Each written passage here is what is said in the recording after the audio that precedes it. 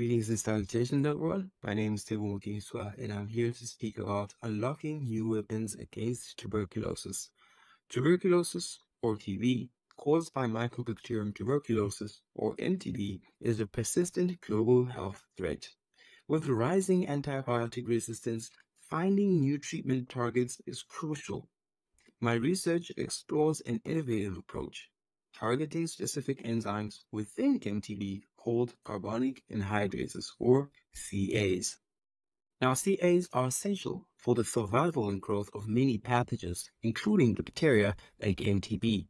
Interestingly, humans have a different class of CAs known as alpha class CAs, while MTB has beta class CAs. This difference suggests that targeting bacterial CAs would lead to effective treatments with minimal side effects for humans. In my study, I focused on three MTB CAs, namely CAN A, CAN B, and CAN C. By cloning these genes into bacteria, I could find their functions in detail.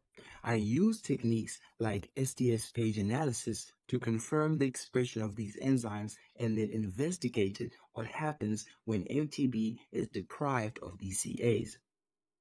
I employed recombination, a genetic technique to create MTB strains without these CA genes, known as knockout strains, allowing me to investigate the effects of CA absence on bacterial growth. I found a significant impact on bacterial growth. For example, MTB CAN-A knockouts showed the highest growth impairment, indicating its crucial role in the bacterium's life cycle.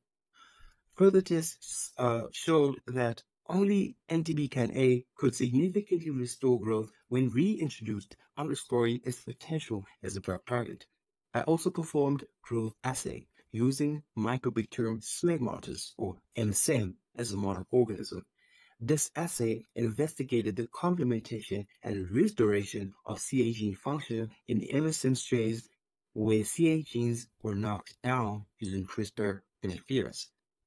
The results mirrored those in MTB, reinforcing the importance of these enzymes.